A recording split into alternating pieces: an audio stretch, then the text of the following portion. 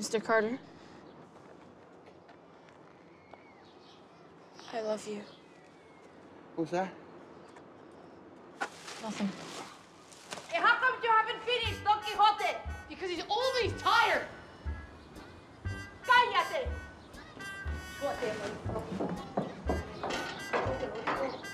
de mierda.